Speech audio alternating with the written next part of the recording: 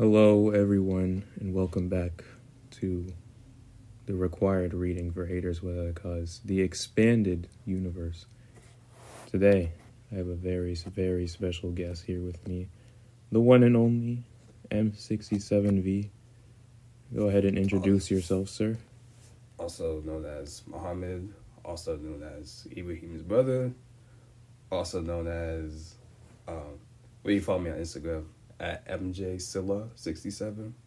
So, full disclosure, I am what you would call a muggle when it comes to media consumption and critique. Although I do think that uh, my perspective is still valuable because there's some things that I'm frankly confused about or don't necessarily agree with. And we're going to get into that. Well, your perspective absolutely is valuable. You know, we welcome all muggles and non muggles alike here on, on Haters Without a Cause. So, why don't you go ahead and introduce the topic for today, since you wanted to talk about it on the show for a while now? Right, so we watched two shitty movies.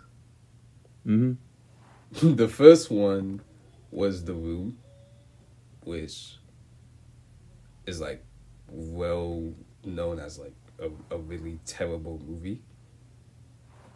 What do you And- mean? The room movie was amazing. Uh, Well, it's amazing in that it's amazing that some a movie like that can exist. and the budget was like what, ten million dollars?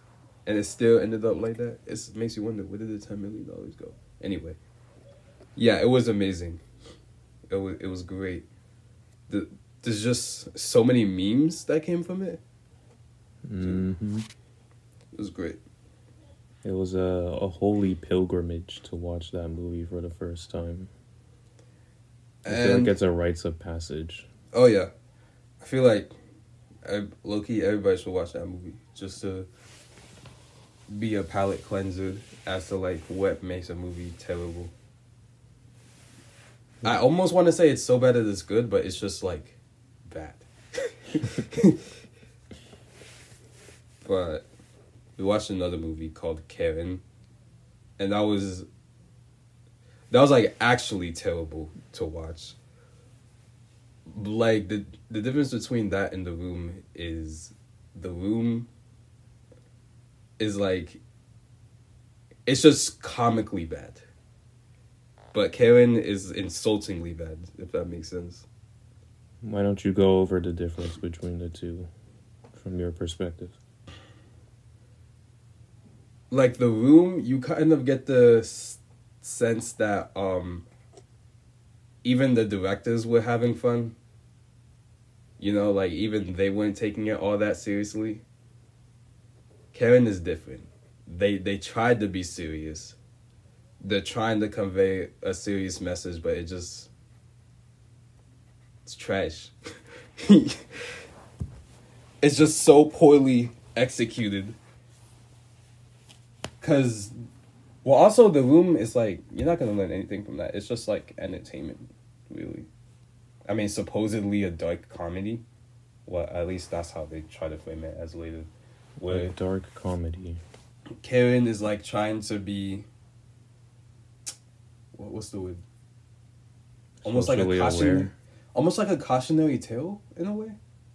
Yeah, they're trying to. Uh, they're trying to like educate people type shit about like Uh, black issues. I have it on good authority that Coke Daniels, famous auteur, director of Karen, he wanted to open up uh, conversations about social issues with that movie, and I thought that was hilarious. but it's just cringe. You know, not to get into like how black people should act and stuff like that, but I really thought the movie was written by a white person. Just because well not because like I feel like black people should act this way, but it's just the It's- people it's in a the movie very- like black people don't talk like that. these these but it's very it feels very corporate and manufactured watching it. And it's strange because this is a relatively low budget film but with a black director. But like some of these lines would, and this storyline is just trash, bro. Like black ex- what- what black the- excellence my man. Like these guys it's like, just out of nowhere saying like, amen black excellence," you know, you can't beat it. yeah Like, bro, nobody says that. Or what was, what was the one line when they were talking? They saw the one dude on the news got shot. yeah they shot him like his life didn't matter and the guy next to her is like yeah Yeah, black, lives, matter, according to this movie all black people think and talk about is just just being black that's their personality black to it's like it was insulting. So I think the difference between that is the room. You can watch it by yourself and still have a good time just because it's just laughably terrible. But Karen is it's a little bit different, you know, it's insulting. Like if you were to watch the movie by yourself, like it would be miserable. Can can I so, you're uploading this to YouTube. So I i'd don't say know the what I same can for say. both movies I don't know what I can say, what I can say, but okay. Well, I'll say this: if, If you wanted to, wa- if, if, you it's bad we can just cut it out so go ahead if you watch Karen by yourself, thinking that it was gonna be a serious movie, like you didn't know beforehand that it was gonna be so terrible, like that movie would make you want to self delete. yes suicide is okay you it'll make you want to suicide yourself i think it's okay anyway if not i guess we'll find out the hard way So, So- my question is, as a movie critic, how do you, when critiquing media, or in this case movies, how do you differentiate what is objectively bad and what is subjectively bad? Because I think The Room, would you say that's subjectively bad? Because it's terrible, but we we had a lot of fun watching it. So subjectively, I love the movie, but it's for purely ironic reasons. So I don't know how much that counts, but I think it's like universally agreed that objectively, they're both movies are terrible. Are you asking like how do I come to that conclusion? Yeah, How do I break it down? yeah. How, what is what is your breakdown? So, the difference between an objective and subjective uh, assessment of a movie, I guess, is subjective is just how you feel. That's the easy part. And that part lives and dies with you. But the objective, that has existed before you and it will continue to be true long after you're gone. And it's all based on the parts of the story that you can measure. Um, the most the most basic definition of a story i think everyone can agree on this is just it's a sequence of events right? Um, thing a happens followed by thing b. So we would then it stands to reason that you could objectively judge it by how well those pieces connect together. And if there are like breaks in continuity if there are story threads that don't go anywhere if plot elements are held together with like flimsy causality then we would we could deem that a bad story the same way a pair of scissors that doesn't cut correctly would be a bad pair of scissors because that's its function um, the way I break it down, I break down a story by plot, character, world, and theme. Um, I think the room stands out as just like just failing on all fronts. The plot is is spaghetti. there are there are subplots that open up and just don't get resolved. Uh, the scenes feel like they're out of order. Uh, characters just change personalities and motivations from scene to scene. Uh, wh- what is there to say about theme? It's just, what is the theme? There's there's a lack of cohesion. What I think that's the thing. There is no theme. It's just this event happens, and then this event happens, and uh, shit, I forget even in that movie. Well, I guess if you wanted to be like really generous as to what uh, Tommy Wiseau was intending, maybe you could say that like, you know, lack of communication can destroy relationships or something. Or doesn't he? Doesn't Johnny say at one point like, if people, everyone loved each other, the world would be a better place? I don't know. Is the thing is the message that like there's not enough love? The point is, whatever you decide the theme is, it was executed horribly. Okay, fine. Let's be fair for a second, okay? So, I think the overarching theme or like the plot of the movie is Lisa. Okay, Johnny was in love with Lisa, but Lisa doesn't love him back for reasons. He said he's boring. right, because he's boring. so she, all right, okay. so um she pretends yeah well yeah yeah she does pretend to you know still be in love with him and still go on with the wedding and stuff like that whole time like she's cheating on him with his friends and she's making up stories about um johnny like beating her or like being abusive towards her Yes, and he didn't get the. Pr- don't forget, he didn't get the promotion. To to which his mom to which her mom says endure anyway No, no, no. She says he was drinking last night, and then he hit me, and she goes, "Johnny doesn't drink." it was like comically missing the point. Didn't it's like she much- didn't hear the other fucker. Didn't she pretty much tell him to endure? Well, she just ignores everything Lisa says and just says like, you know, he has a good job, he loves you, etc. So endure. So endure. Endure. Who cares about the physical? Anyway, But the theme, I guess, is what what is like the message. You know, what is the the overarching, uh, I guess, idea that ties it all together. so I think the overarching idea, right, is that she's just like unfaithful to him, and they have a failing relationship, which is a fairly standard, like predictable plot line. But instead of having a bunch of things, I think what what's the guy's name? Tommy Wiseau, the director. I think what he Yeah. tried to do is have the events happen have them be like a build up as to like you know this is like up until like the final straw but what instead happened was We have It's- some it- build up. We have the final straw in like the middle of the movie, and then the rest is just like a bunch of nonsense before Johnny spirals. some of it some of which have like nothing to do with the actual relationship just like oh this random event happens Well, like Denny getting in trouble with like drug dealers. That goes nowhere. Didn't we like never see him We got one. we had one scene for that, and then never. It's not even mentioned. It's not even brought up. no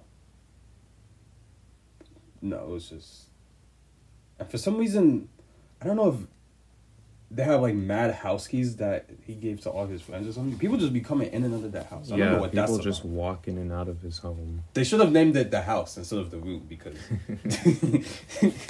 pretty much everybody has access to that house. Well, the house is all. It's just one big room, isn't it? And then there's the upstairs where they have the big sex. Oh my god, the freaking sex. scenes. Yeah, there's a gratuitous amount of sex scenes that go out for go on for way too long. Twenty five percent of the movie was that slight exaggeration, but I don't even think so. it might even be something close to that. maybe. But yeah, to bring it back, the theme is a hard one to talk about because, you know, a lot of time theme exists comfortably in your brain, and a movie can resonate with anyone in different ways. But that would be the subjective part. But a movie having an idea, that's the easy part. It's executing that is where we would judge how good or bad it succeeded. Um, I think an example we can both agree on is The Devil Wears Prada. Um, doesn't uh because Andy is working at the the fashion place and she gets in trouble for not taking her job seriously enough and the narrative uh paints her as being in the wrong for not taking it seriously but then she starts to take it seriously and then it starts alienating her from all of her friends and the narrative still treats her like she's in the wrong. So we're almost like confused. Like, are is the message so like is the message to be uh take your job seriously or I guess if I wanted to be generous to the movie, it's like take your job seriously, but not to the point where you like lose who you are. But that doesn't happen in the movie. She's still the same person essentially. Can we talk about the Devil Wears Prada for a second? Okay, how, how is it? How was that movie received by critics? It's it's generally uh, favorable. It's considered to be a good movie. That that's considered to be a good movie. I think it's a. I think it's decent. I think the theme was was botched along the way. Look, it's not that I didn't enjoy watching it. It's just like, okay, first of all, these guys in the fashion industry, they were all just, bro, they were so unlikable. So unlikable. I don't know if they did that. Did they do that on purpose? Apparently not, because we're supposed to think that Andy was wrong for not taking them seriously at first. But okay, okay, here's fine. where the like, conversation gets complicated because likable is subjective. Um, bro, I you're don't, just dickheads. I don't like. Well, this is the thing. I don't like Miranda as a person. I wouldn't want to be her friend, but I think she's a very well written character. Sure, sure, and I, I guess she she gets her work done, so I guess that's all that matters. Yeah. Okay, I, fine. I Not- really appreciate the amount of work they went into like writing so- her as someone who, you know, she's harsh to a lot of people, but she's always busy. Every scene she's in, she's doing something related to her job. She's not just sitting at a desk and ordering people around. Okay, fine. So in in the work environment, I understand you're not gonna get along with everyone, you know. But then, yeah, it's like you said. She didn't take the job seriously. I'm like, well, this this is stupid as hell. But then she eventually did started working hard, and her friends were like, bro, her friends, oh, her friends were like shitting on her Andy For taking her job. friends. Uh, we didn't even talk about her boyfriend. Who did did he like leave her? I think he left end? her at one point, and then her friends also were trying to to use her new position to like get favors or whatever, or like get discounts on uh, the fashionisms that she was working on. And I don't okay, I don't remember exactly what happened. I'm still end of the fuzzy on a lot of details Yeah. because I only watched it the one time. But at, by the end of the movie, we found out that surprise, surprise, Miranda's a dickhead, and so Andy was like, "No, fuck this shit, I'm quitting." Yeah, I think by the third act, it's like Miranda is definitely the antagonist, and Andy has to, you know, not lose her integrity. So that's why she makes her decision to leave her at the end. But then this is where the the theme runs into a problem again. Miranda, uh, she ends up getting the new job because Miranda put in a good word for her. So it's almost like she's rewarded for taking her job seriously to the point of losing herself. So the the theme is just like it's completely confused. It's we don't know at what point like what was Andy supposed to do? That's the mess that's the the question that I'm left with. I feel like movies like this are supposed to give you more clarity on certain aspects of life, but it's just like it doesn't. you know, it- I I'd have to watch that movie again to see how well it holds up because like I think the the theme is executed horribly, but everything else it, it might be okay. I'm not sure. It might be like it might come down to like a 5 or a 6 and the maybe. plot is so unfair to Andy. It's like no matter what, Andy's like the wrong, the one in the wrong. Yeah, I think she gets unfairly shit on in that movie. all the time. I don't know what that's about. Because the movie clearly presents the fashion people as being like hoity toity, like very uptight. So I think it's reasonable for, you know, Andy to take the piss out of them a little, but the, all of a sudden the, the movie turns on her and they're like, the, the movie's like, how dare you? You should respect these people. I do mean, you see what these people do? okay, okay. Here's the thing, right? uh, okay, maybe this is just me.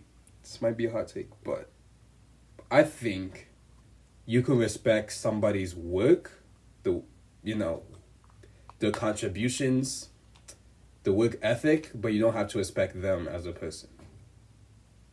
Yeah, I'm Especially happy if to they don't agree with respect that. you. Because, well, an example that immediately comes to mind is, to me, is Elon Musk. Like, dude owns SpaceX, Tesla Motors, uh, Twitter now. What should I say? X. Anyway, Oh yeah. Mm-hmm. like he has ma- he's had major contributions. You know, as far as like what he's done, and not his inventions, but like the products that he he's come up with, and his work ethic, and he's just like an insanely intelligent individual. But would I want to spend a long time with him? Probably not. do I do I would I want to live with him? Probably not. Do I think that he's respectable like as a person, you know, as he the way he treats other people? Definitely not. Yeah, and I think uh, Miranda in Devil Wears Prada is portrayed in in that manner. It's like, yeah, she's a dick, but like, the results speak for themselves as to like what she's done. She's a big name in the fashion world, and for very good reason. She's extremely good at her job. I mean, she is the devil, right? Yeah, I'm, I think the devil is referring to her. Yeah. But I think we were we're almost meant to believe that like she sort of earned her place in the fashion industry, so she's kind of earned the right to, I guess, pick on whoever she chooses. That just rubs me the wrong way personally. Maybe that's why I feel the type of way that about that movie. So okay, my I guess my beef with like movie critics, yourself included, motherfucker. Just kidding. is my problem with a lot of these movie reviews, or even game reviews, is that the objectivity aspect as to like how you rate a form of media seems to vary a lot between the reviewers. And I feel like more often than not,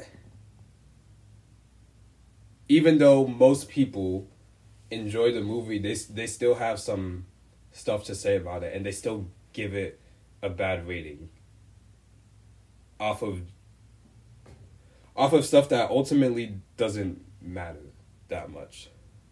Cause my thing is, depending on the type of movie too, if it's like an action movie, especially like comedy, what should matter more is like whether you enjoy the movie or not. And I personally think that a lot of these movie reviews, they pick on it, and then they give it a bad rating, which doesn't matter to me, but to somebody who's never seen the movie before, they don't know what it's about they're gonna see that rating and be like, okay, I probably shouldn't waste my time because movies take a lot of time. They're like an hour and a half, two hours long.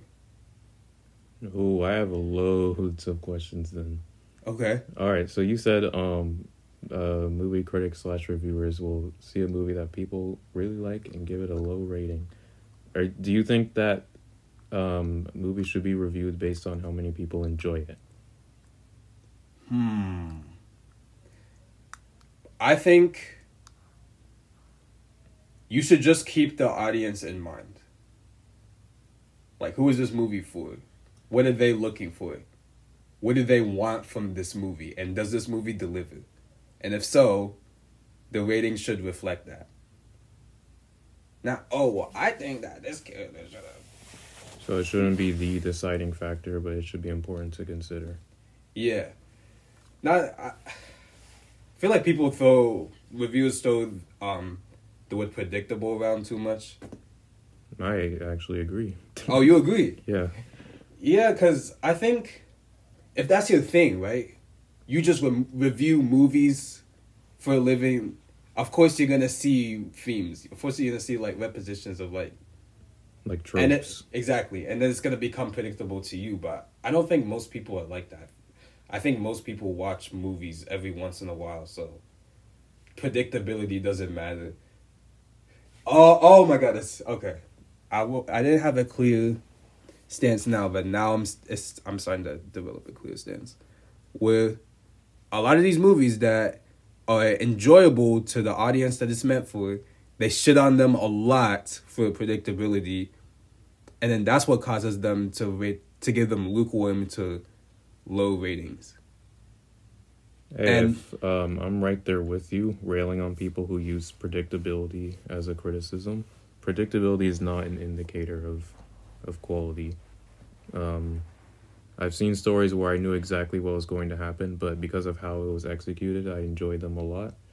Um, if it's predictable and it's executed poorly, then that's Yeah. what I would be rating it by, not just because it's predictable. And predictability is also subjective, so there you go. Yeah, that it'll be one thing if it was poorly executed. Also, I mean, I understand that you can do things differently. In my opinion, just because you can do things differently doesn't mean you should. And I think the problem is when people say, when people complain about, oh, we're just getting the same, more of the same, we want something different. The problem is, is there's not much that you can do differently without like doing some crazy shit or doing some something that's like Dumb. that that pe- people don't want. And I'm gonna bring music as an example. Like, All right, but this isn't over. okay, okay, but just just as a quick, just as a quick example. So, I started getting into rap two years ago. No, three years ago. Whatever. Yeah, three years ago. And remember how like everybody shit on Playboi Carti for making the same type of music all the time. And yeah, uh, I do remember that. oh, so you, even you remember? No, And- I'm just helping you out. Okay. okay. And then he came out with Whole Lotta Red at the end of 2020, and he completely changed his style, and it divided his fans so much. And then he's like, "What? You guys wanted something different, so." You, you know what I mean? Like I I just did what you guys asked for, and now it's like his fans are divided between people that listen to old Playboi Carti and people that listen to like all Playboi Carti, I guess, in, including his new stuff. But his his new stuff like has almost nothing to do with his his old stuff. So to my point, just because you can, just because you can do things differently, doesn't mean you should. Wait, that's different not, doesn't different doesn't equal good. it, it- that yeah, yeah, yeah, it? yeah. Yes, exactly. Different doesn't equal good, and I think if you see, I'm all about consistency, right? Who can I always go to? In the case of media, what director can I always go to? What genre can I always go to and get like what I expect? Oh, I don't know about genre. Genre is extremely broad. I think well once you narrow it down, you know what I mean? Because there's all different types of comedy. Okay, so what kind of comedy? Like a, ro- romantic comedy. Like if you Would if you're you looking for a rom com and you see some shit about like I don't know aliens, you know what I mean? Hey, He's gonna be like, a rom com in space. I guess. All right, so what did you want Well, to say? No, let's explore that. Do you think a rom com in space can't be good? I mean, it can, but Just take a rom com that you really, really like, or one that you think has a good story. Replace the characters with aliens. Replace the setting from Earth to space. It's the same story. okay. oh, all right. Well, what if there was a rom com that had to do with spiders? But that could work. I mean, I guess, but that, Uh, that's not that's not what I'm looking for. That's not what you're looking for. no. I I like to think that all of these, you know, the spider movie, the alien movie, the human movie, they could all exist under the same umbrella. I don't think it should it should be considered no longer a rom com just because I know, it's it- not humans. It it can be, but hold up. Okay, I think a better example would be to say, what if, uh, like in twenty twenty four, right? Movie critics keep shitting on rom coms because they it's just it's just the same thing over and over and over again, and then everyone that's making rom coms says, "Fuck it, we're gonna expand," and all of a sudden, rom coms are no longer about human beings. Like none of the rom coms in twenty twenty four are no longer about human beings. This is a very extreme example, but they're all about like algae or or fish or, or aliens or spiders, and there's and it's all some crazy shit that has nothing to do with like what would actually happen in like humanity. If they were good, I'd be okay with that. I think a a, a worse problem if people were like, "Oh, rom coms are all the same. It's always guy meets girl, they fall in love, a bunch of stupid things happen, and they end up married at the end." So they're like, "Okay, we're gonna do something different. We're going to have rom rom coms, you know, without romance and without comedy." It's like, well, it's not a rom com at that point, is it? Oh yeah, I think that'll be a better. That's more like Example, yeah. foundational. Yeah. Whether it has it stars human or algae or spiders, whatever, I think that's more superficial. But I would still be annoyed. it was one year. I guess if all if we just like got rid of humans altogether, I'd I'd be a little confused by that. I'd be very annoyed. But um, you know, I I don't want to you know subscribe to the idea that stories that don't star humans can't be deep or meaningful. I mean, just this year we saw a really good movie about like the nature of death and you know what it means to live and being faced with your own mortality. Do you remember the movie? It was Puss in Boots. Oh, I was thinking about the one Pixar shit. I forget the name though. Oh, Soul. Yeah. No, this was this year. Puss in Boots: The Last Wish is a lot better than Soul. I'm just gonna put that out there. That movie. Oh yeah. really good. Way better. Way better. But I want to go back to um, Okay. you know knowing your audience. Um, a movie critic should know what the movie's audience is, what it's trying to deliver, how well it delivers it, etc. You, you that, that is a statement you would agree with. Yes. So who, what who do you think the room's audience is? I don't know. well, the room doesn't even know what type of movie it is. So, however, having said that, I can I know who Karen's audience is. Okay, let's work with Karen. Um, I think it's uh, the audience is like sort of left wing people, Mhm. like activists, maybe people on the right who want to understand people on the left, or maybe white people that want to understand where black people are coming from. And that's why I have such an issue with that movie because it does a terrible job at explaining black issues. It I, and again, it's it's as if the movie like it's as if the director of the movie has never met or like talked to actual black people because they just don't act like that. It just seems like a caricature of how black activists talk online in like really fringe like crazy spaces. And and that's the reference point. And on the flip side, the the antagonist uh in the movie which are presumably the white people. White people. Fucking Again, insane. it's a it's a caricature of what people think racist white people actually act. When I don't even think racists like move like that. I don't even think Karen's move like the way Karen in the movie. She does like one Karenish thing in the whole movie, which is like get the guys kicked out of the restaurant, and then the other thing I guess is complain about the trash. The rest of the movie, she's just like violently, like openly racist, Well, no, she's just a psychopath. and then well, in the third act, she turns into a murderer for no reason.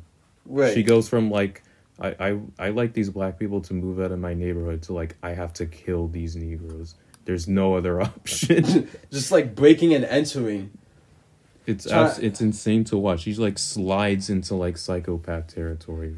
And you can even see her like she's like evil laughing, maniacal laughing, just uh, having these crazy faces. And you know I'm what? Like, bro, what the hell is this? She didn't ask to speak to a manager even once in the entire movie. No. What an absolute! You had one job. okay, but the question I want to ask is, um, say all of the leftists, all of them ever, they hear what you just said and they're like, I don't care about that. Um, Karen is amazing. Does that make Karen a good movie now? Since you've decided that that's its audience, and they like the movie. Hmm. Good question.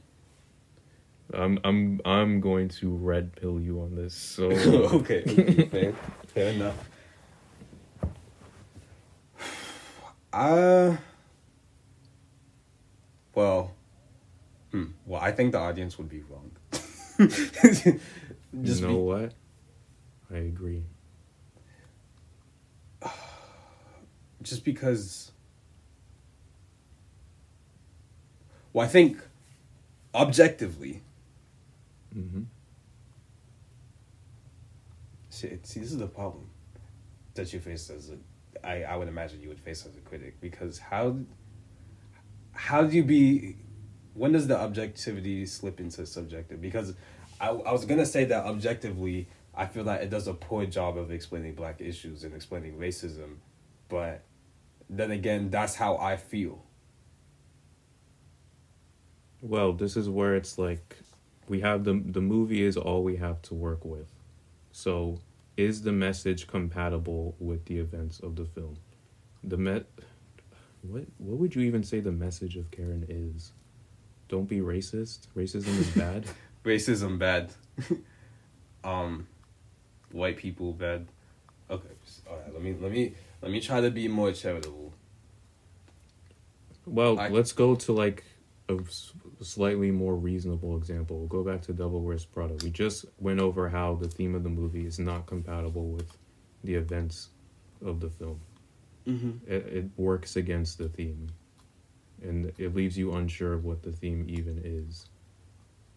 That is something you can objectively measure. What mm. you take away from the movie is completely up to you. Well, I think like that... someone could think the room is meaningful because they also have been in a situation where their fiance cheated on them with their best friend. But of course that doesn't make the movie good because that's what makes it meaningful to you.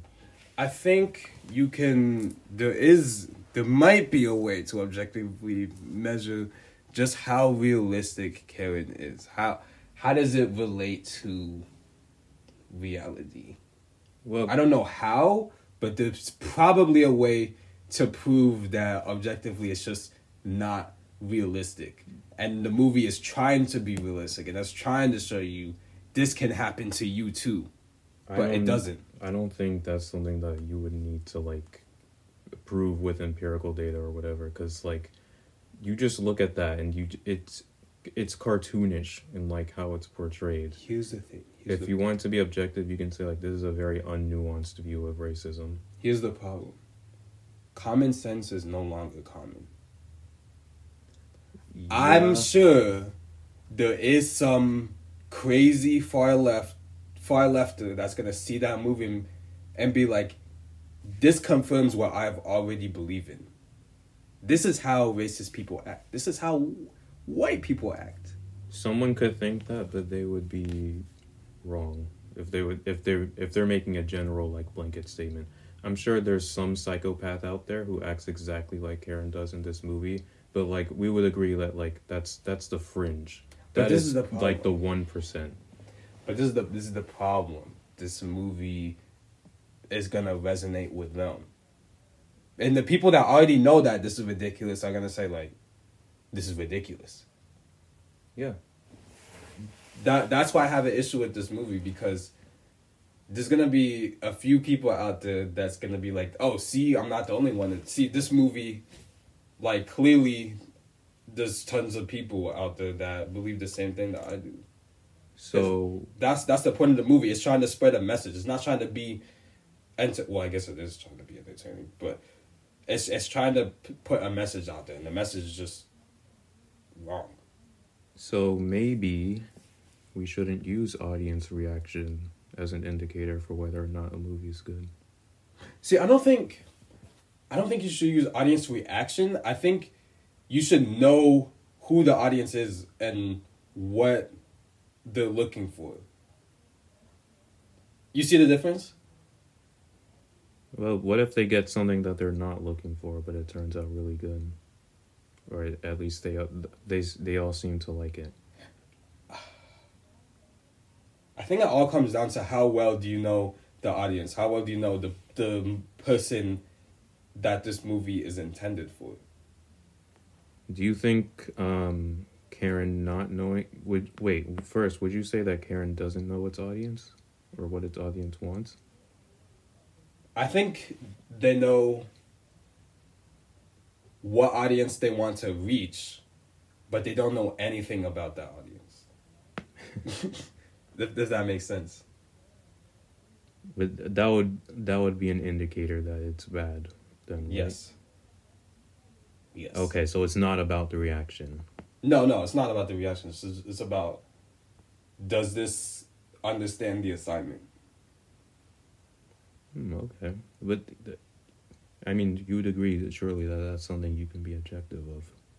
Yeah, because I think every form of media has its um ha- has its intended audience and has its like purpose. You know, whether it's for entertainment, Absolutely. uh, cautionary tale, uh, laughter, just for laughs. They all have its uh its intended purpose.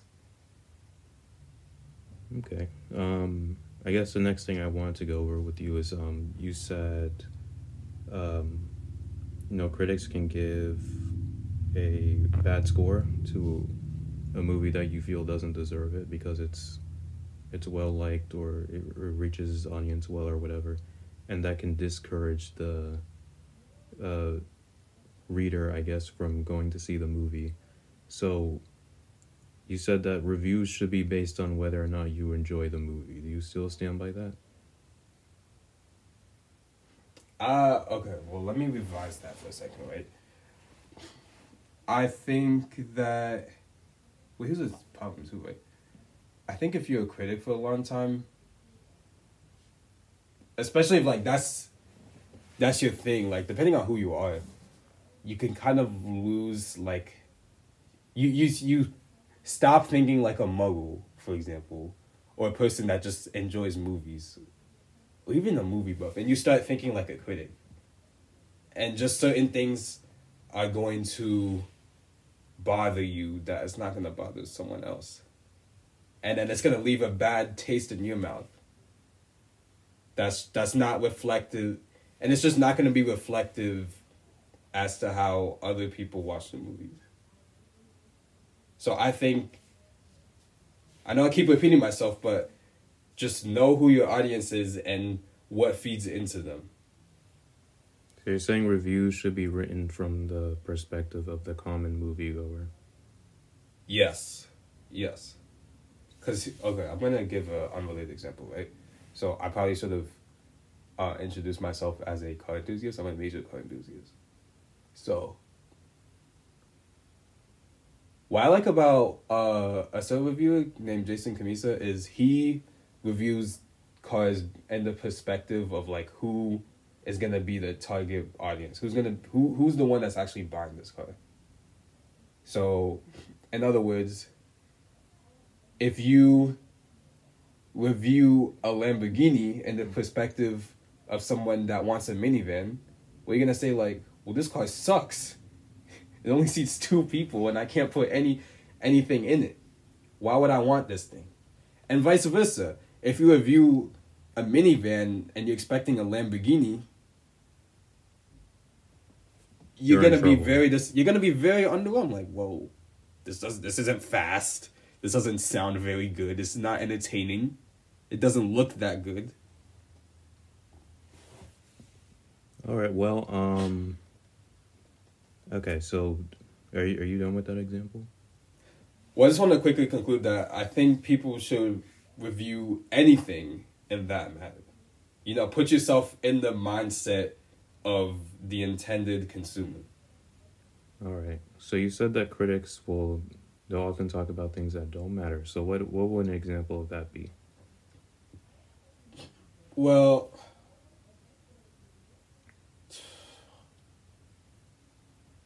I think in comedies, for example, sometimes characters don't have to be that deep. Or they don't have to be like that nuanced or advanced or different than like the common person because that's not the point of the movie. It's supposed to be funny. That would be one example. Okay. Um, and rom coms, like people, they don't I, they, again like as far as being like predictable, repetitive. I think those are allowed to be predictable and repetitive because if you say rom com, you already know what to expect. You you don't you don't want some crazy shit because you're just trying to like relax and like watch a romantic movie, probably with a significant other or well, well, ideally with with a significant other. Yeah, just kind of like a fun, down to earth movie that leaves you feeling warm and fuzzy inside, right? Exactly. Does that make sense? Am Yeah. I making sense? I see where you're coming from. So I, my next question then would be like, what is what are the things that do matter? What should critics be talking about when they're talking about a comedy? Should they talk about how much it made them laugh? Yeah, just like the, like if you can criticize the creativeness, of like in a comedy, if you can criticize the creativeness of anything, it has to be the jokes, or the delivery, the, what's it called? I'm, I'm blinking. Just like the little bits of it that are supposed to be funny. I think that would, that would it would make more sense to criticize that than anything else because it's a comedy at the end of the day. So you're expecting to laugh. So if all the jokes suck, then you'd be like, well, this movie's not very good. And I what can if respect that. what if there are two reviewers of the same comedy? One found every joke funny and one didn't laugh at any of the jokes. It's not like they're a humorless person. Both the reviewers love comedy, but this Mhm. one just didn't work for them. Which one is the consumer supposed to sort of trust? Um, see, if it's if it's like a um, what do you do you consider a company, like a a review company or magazine? Let's just say uh, it's a review website. We'll just say it's a like a conglomerate. Right. So ideally, what I would do is, if I was in charge of that review website, I would assign someone who I, f- I feel is most likely to get the movie to be the one reviewing it. Because if two reviewers review the same movie and one found it f- funny and one said like this movie sucks, then their sense of humor well they both ideally have a sense of humor, but one is clearly Mm-hmm. um, more adapted to it than the other. So you'd have to figure out why does it resonate with one, but it doesn't work with the other. Uh, that's a neat cop out, but this conclusion is is baked in the two. This I'm asking, what does the consumer do in that situation? What does the consumer do? Yeah. What I would like to think the consumer does is instead of just looking at the rating and be and just taking that and run with it, to actually read the review and find out why did they rate the movie the way they did. That's what I do personally, but I know not enough people do that. But these They- are these are like spoiler free reviews. One reviewer says the jokes in this movie were really funny. I laughed at every single one. The other one says I, the jokes in this movie didn't land for me. Well, that's not why people don't read reviews. It's not because they're afraid of it getting spoilers. It's just because they're lazy. Sure. But this is a this is a consumer who uses reviews as a because they, do exist. People who use reviews as a determinant for whether they're going to see a movie. But there's not enough of them. That's the problem. There's not enough people that take the time to to not only read the review but to critically think, okay, so this is this person's take on it. How does this apply to me? What I'm getting at is if both reviewers use the same standard, do you not agree that that would be a lot easier on the consumer? Yeah. Yeah, it'll be a lot easier, but they don't, which we is why go. you should um, read the description. That is where the that is why I'm in favor of the objective review. Because humor is subjective. You can't tell someone what they're going to find funny. But what you can do is break down jokes mechanically. Be like, a lot of the jokes in this movie, you might find them funny, but like, they don't make sense, like narratively, or they're delivered in awkward ways. Uncreative. Yeah, or um, you could a movie that makes the same joke over and over. It'd be like it's very monotonous. Or Yeah. if someone was reviewing like you know Madagascar three, for example, you can say like the the Afro Circus bit is overplayed, um, because of how overexposed it was into the trailers. These are all objective statements you can make, and the consumer can read that and be like, okay, I'll keep this in mind when I go see the movie, but I will form my own opinion after I go see it. I think that's so much better and so much easier to work with because if every reviewer made reviews and wrote them based on how they personally felt about the movie, you would get scores on all corners of the spectrum and the consumer wouldn't even know where to start. I wish there were more consumers like that. That's, that's all I gotta say. That's like the ideal, perfect, critically thinking consumer that just doesn't exist all that much. Well, the way I see it is like I can't control the the reviewers or the consumer, I can control how I review media, and I try to be objective as I can. Um, I've had to criticize movies that I really like, and I've had to give points to to movies that I absolutely loathe. But for what it's worth, I'll add my own personal opinion and my own personal score at the end. Yeah, I guess. My thing is, I guess I I, I wish reviewers of media were more. Uh, like they reviewed movies more consistently across the board, and Yeah. they would be held more accountable for just giving poor ratings on movies that don't deserve it. Okay, what do you think about Rotten you know Tomatoes? What? I agree. Um, I think Rotten Tomatoes is is pretty uh, pretty much useless in determining the quality of a movie. I okay, I'm so glad you said that because I felt that way like about them the whole time. I was like, bro, who cares what these?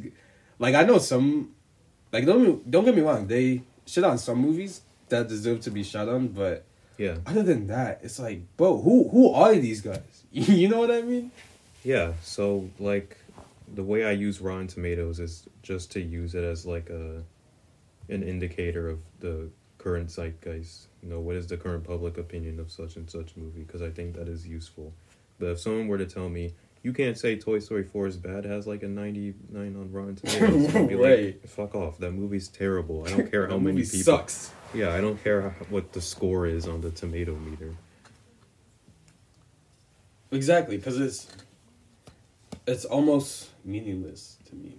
And I'm right there with you that a lot of movie reviews suck because a lot of them just are like um, how much they enjoyed it. But like even when they try to be more objective, they they just use like very vague statements to be like, "Oh, Toy Story Four is amazing." It like it like pushes the boundaries of of Woody's character and like what a Toy Story movie can be. It's like you're not telling me anything. I need like specifics, you know. Exactly. I know we get into spoiler territory, but like, so be it. I want to know what I'm getting into. Okay, this is my.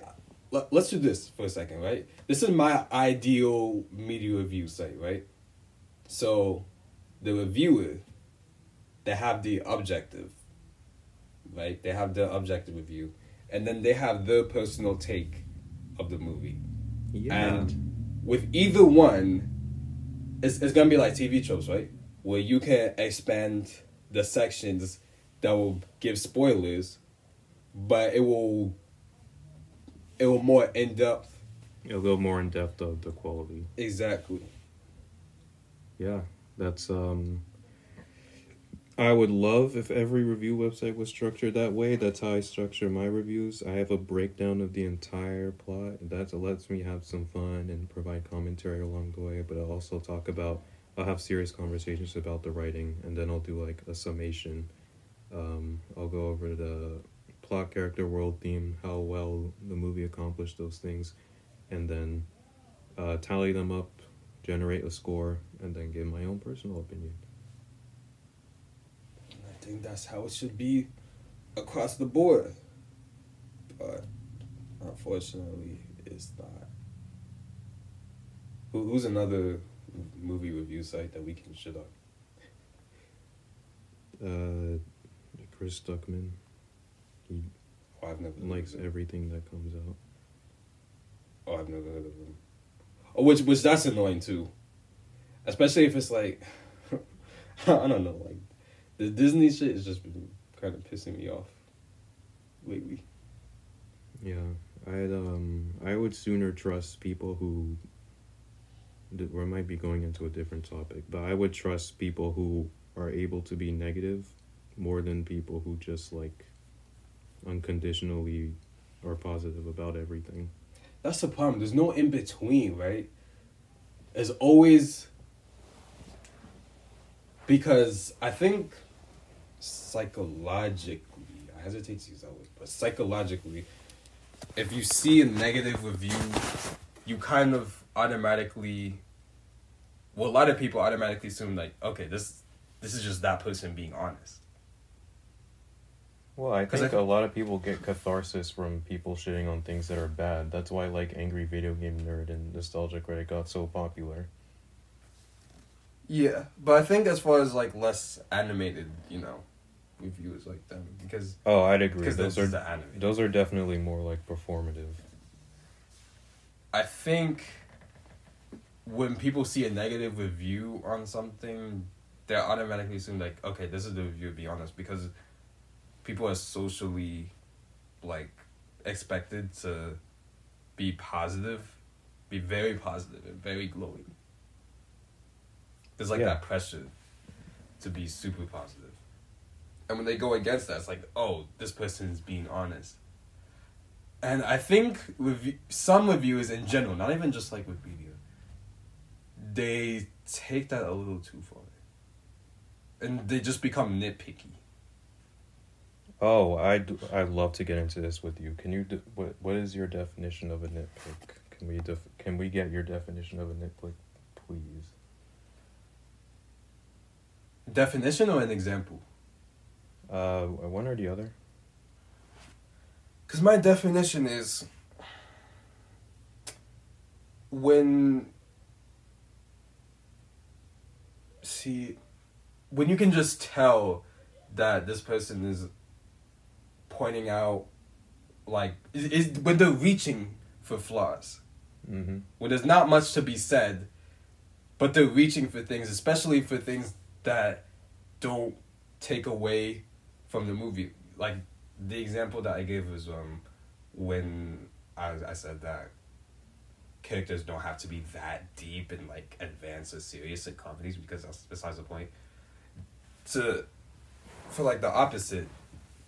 Conversely, if a movie is supposed to be informative or uh, a, or a documentary it's supposed to be informative and they're like well this wasn't very funny or entertaining i know not know how many people are going to say that but that's just like an example extreme example but it's true when it feels like they're reaching for things just so just for the sake of like being negative Uh, to just just to probe your brain a little bit here, if that person saw it, watched a documentary, and the documentary got a historical fact wrong, and they pointed that out, would that be a nitpick?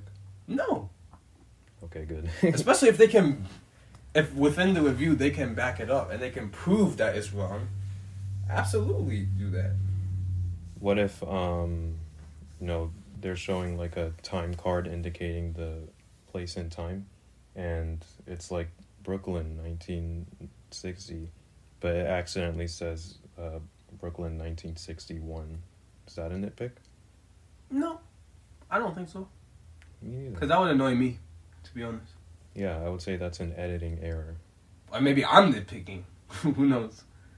Um, I, I can be a bit nitpicky to facts like that, even if it's just slightly off. my definition of a nitpick is something that is not relevant to the story, but it is valid. Mm. So say um uh in one scene the character's shoes are blue and then the next scene that they're pink. It's like that doesn't mean anything. It's Mm. worth pointing out, but like that doesn't affect the story in any way. But like if the villain of the story is defeated by looking at the color pink, it's like what the fuck, you know? Because we didn't get a scene where he changed the color Sure. of his shoes. Yeah, that would annoy me too. well, I I imagine that could like pull someone right out of the movie because you'd be like, you wouldn't even be paying attention to that, and you'd be like, what? Or even if it's not relevant, something like that would still annoy me. yeah, or um, say you're uh watching, I guess Lord of Lord of the Rings, something that takes place in Middle Earth. I know there is um a controversy about like how in one shot you can briefly see like a a modern car or something, but it's like all the way in the distance. It's like that doesn't change anything about the story, but it is a it is a flaw that they left that in there. You know? Yeah, Um, which would annoy me too, by the way. the example you gave about how like comedy characters are not expected to be like deep, meaningful, whatever. If the if the movie wants us to believe that they are deep, uh, wh- whatever you mean that to be, and they aren't, is that a nitpick? no, that's fair. Because the movie, you know, the advertising is one thing, but it's not delivering. So that's that's a fair criticism. It looks like we're mostly on the same page. So like Yeah. a review that's like mostly comprised of nitpicks is not a good review. Or, I guess to deeply go into my definition of nitpick is just when they're trying to, when they feel an obligation to say something negative about the movie, just just for the sake of saying it. So. They try to make some, some, they try to find issues that are not even there. They try to make something out of nothing. I don't know what it is. Do you have an example of that? Are there any times where you feel like I nitpicked for a movie? There probably is, but but I can't hmm. I can't remember right now. Hold on, hold on, hold on. It was something that I I, I just seen it recently. Because No, a lot of the time, I'll get, I'll get shit on for nitpicking moments that seem small but actually indicate a wider problem. Mm. Um, I'm trying to come up with an example.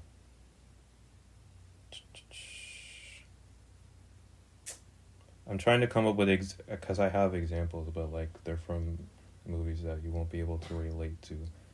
Let's um let's talk about let's talk about Toy Story four. Oh, okay, perfect example. Um, Toy Story four, how like Bo Peep's design changes between movies. For uh, her her big old dress from the first two movies, it almost looks like it's held together with wire. Um, it's very stiff and it's held in place, but in Toy Story four, it's a lot more flowy, and it's really obvious. You know the reason why they did that is so that she can fold it back into a cape when she becomes like a lost toy or whatever. Someone could be like, "That's a nitpick." Obviously, like the technology has improved, so they're trying to like update Bo Peep's old design with like uh, the modern CGI. It looks a lot better this way. I'd be like, no, they they changed the the structure of this character because they want their specific story to work. Like this might seem like a small detail in the grand scheme, but it's an indicator of like where the writer's priorities are. They're willing Yeah. to like rewrite history essentially and like retcon this character's design because they want her to go in a specific direction for this movie. Because if uh, Bo Peep kept her like her her wireframe dress, she wouldn't last a second out in the as being a lost toy, and th- that movie also forgets that she's made of porcelain, and she's very fragile, and she wouldn't last a day. She'd break. That was the reason why she was left out of Toy Story 3. Because if she made it to the incinerator, if she even made it to the incinerator with the rest of the toys, she would have melted. But we're I, like, I don't I don't have a problem with nitpicks that go into detail like that. I I go even further. I'd say that's not a nitpick. Oh, I I wouldn't say it's a nitpick either. But when you when you just say like, oh, Bo Peep's dress design changed for some stupid reason, and then the next thing it was like, what what. what? Yeah, that's yeah. like that's not finished. You got to go into why that's a problem. Yeah. As long as you're able to explain yourself, I don't have an issue. Like, um, I guess Andy's design changing, because a lot of people point out like Andy doesn't look like Andy in four. That's I, that's a nitpick. Like Andy's not even relevant to that movie, let alone the way he looks. Well, he is relevant in that movie. He's a, he's a very brief. He's in a flashback. Oh. But yeah, I don't think nitpick is necessarily about size. It's about uh, significance. Mm. Just like the detail of the character's shoes changing between scenes. Yeah. That is a nitpick with depending on how much impact it has on the plot.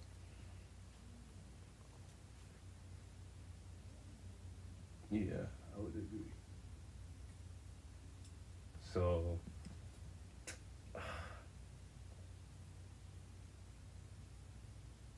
So where do we go from here? okay, the only example I can give for like my definition of picking has nothing to do with movies. And it's, it's back to cars. I'm I'm sorry, but this that's the best I can do. All right, go for it. It's your field of expertise. Like if you, like if you have nothing bad to say about like again the Lamborghini for example, and an, an Aventador, but then you complain that it doesn't have a back seat it's like, bro. Now you're just complaining for the sake of complaining, just just so you can seem, just so you can somewhat seem fair, but it doesn't actually. What you said means nothing. Cause it, it it means nothing because that's not the point. But, well, yeah, because if they don't go into detail about like why not having a bad seat is a bad thing, is that where you're going with this? But like, dude, it's an exotic car. It's a it's a super car. None of them have back. none of them have back seats. That's not what you buy it for. I think I would go the route of like you know if someone complains, well, it's not very utilitarian to not have a back seat. You can then argue like, a sports in a sports car, the priority is not being utilitarian, right? It's about like style and like going fast. Yeah, exactly. Yeah, and that would be a, that would be an effective counter. Yeah. I guess I gotta work on my counters and my examples because it's a bit limited. So I guess just to recap, like, do you think that, uh, uh, do you think objective flaws can exist in a in a piece of media? Oh, def- I think we proved that they can exist. um, oh yeah do you think media it I don't want to say they sh- they all should be, but like do you agree that it'd be better if media reviews were more consistent? If they all work with a consistent standard? Yes. And that standard needs to be like put into place yesterday cuz whatever they're doing now is just not working. Absolutely. I would say reviewers in general, in my mind, should have the same mindset that we do. Yeah. And uh, as I said, it, it makes conversation so much easier because someone can be like, I like the room. And they're like, wait, do you think the room is good? It's like, no, but like, I really like it. It's like, oh, there you go. I just be for real. Yeah. As opposed to coming out of uh, the movie being like, that movie was really good. And they're like, what are you talking about? That movie's really bad. It's like, oh, now we have a discussion here. We can discuss yeah. the film and because we're all working with the same information, we can use um, the same standard, and you know, someone's gonna come out on top because those two perspectives can't coexist. Well, on the flip side, you know, still be fair and accept like that. Even if a movie that you really enjoy, even though you really enjoyed it, it can still have flaws. Yes. Don't don't be like so whipped up by just because of all the hype and you know what it made you feel that you can't see like what's what's actually wrong with it. Yes. Thank you. Lion King movie. I'm looking at you. Lion King 2019. Yeah, and then you know the conversation doesn't have to be like hostile. It doesn't have to be a bloodbath. It could just be like, oh okay, you know, I still really like it, but I guess it's not as good as I thought. No, this is the best movie in the world. Because Lion King- Disney made it. This is my childhood.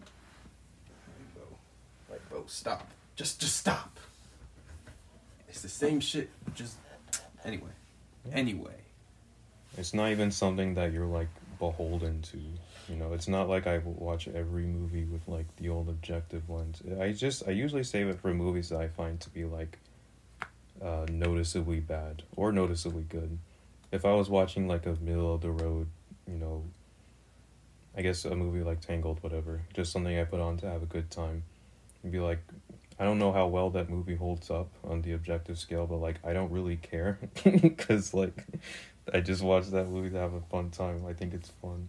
I like it. Is that how you watch Bullet Train? Um, yeah. Only like if I were if I were to go over it with a fine tooth comb, I might be able to find, you know, particularly weak points or particularly strong points.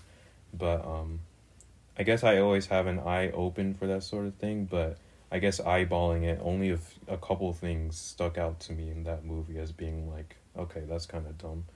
Like, um, the guy, I forget if it's Lemon or Tangerine, but um, he gets knocked off the train and he's able to Oh. like crawl back on. Oh, that was bullshit. while the train is moving at like hundred miles an hour. It's like Yeah, that was- nah. that was bullshit. Or didn't didn't Lemon get shot? What was it? Tangerine? Whatever. the oh the big one got shot Yeah. right, but he was like he died, but then the movie changed its mind. Exactly. or even the the scenes were like s- some of the scenes is like some of the physics of it, like just stuff blowing up. I'm like, bro, Yeah. that that's just dumb. Like that's just that's just not realistic. But I've seen criticisms of the movie that I also found dumb because I've seen someone be like, "Oh yeah, why are all these people just happen to be on the same train at the same time?" Was, it's like, th- this was literally orchestrated by the Black Death. he hired them all to be here so they would kill each other for him. It's just like, well, you just weren't paying attention. Exactly. I could have said that. The film is our reference, and that's what we use to make our arguments. Yeah. By the way, you should watch Bullet Train. I recommend. Yeah, that said, I do want to make a breakdown of Bullet Train because, you know, there's enough passion there to be like, all right, let's go over it and see how well it holds up. Yep. I agree. Well, I think that's the episode. All right, is there uh anything else you want to go over? Uh, no, I think I think we pretty much touched on every point. All right, well, thank you very much for joining me today. I think we had a very good chat. This is something Thanks that I've having me. wanted to have a back and forth about for a while now. For sure. Um, before we sign off here, is there a this is your chance to sort of plug yourself, you know, where are you, what do you do, where can people find you? Oh yeah, subscribe to my YouTube M67V. I do car videos and like car discussions, stuff like that. He does what I do for movies for cars. Um, but I'm not gonna lie, I've taken a bit of a hiatus, but once again, but I should be back with some more content pretty soon. So stay stay forward for that. Also, you might as well follow my Instagram MJ67 Mm-hmm, just because I'll follow you back. I swear. Unless you're a bot. If you're a bot, I'm not following you back. Are there any of your your alternate accounts you would want them to follow? Uh oh, you know what? I do have an alternative account called. You forgot this car existed, which is uh. Make sure you do the one. Wait, was it the one with the dots or the underscore? Oh yeah, make sure you do the one with the underscore because my other one got hacked. But uh, I post like if you're especially if you're a card nerd, you're gonna be entertained by this sort of thing, just cause that are like lesser known or that you may have seen once or twice, but like you haven't really like. It's it's not very memorable, frankly. And I go ahead and I write a. I do write ups, as for like maybe the history of it or like why, it's forgettable or why it's not very successful. So. If you're into that type of thing, go ahead and follow me on that that's pretty much what I'm most consistent at as far as like creating content for better or worse. All right. But yeah, that's that's that. Uh, links to all of those will be in the description. Mohamed, thank you very much for joining me today. Thanks for having me. It was, cool. It was fun. All of y'all, if you made it this far, thank you for listening. Please subscribe to the channel. We will be back to our regularly scheduled program. I promise. I can't say when, but stay tuned. Haters without a cause is not going anywhere. Uh, one of these days, I'd like to have you on the show as well. Yeah, the show proper. For sure. I'd be happy to come through. All right, then. Thank you very much, everyone, and I will see you next time.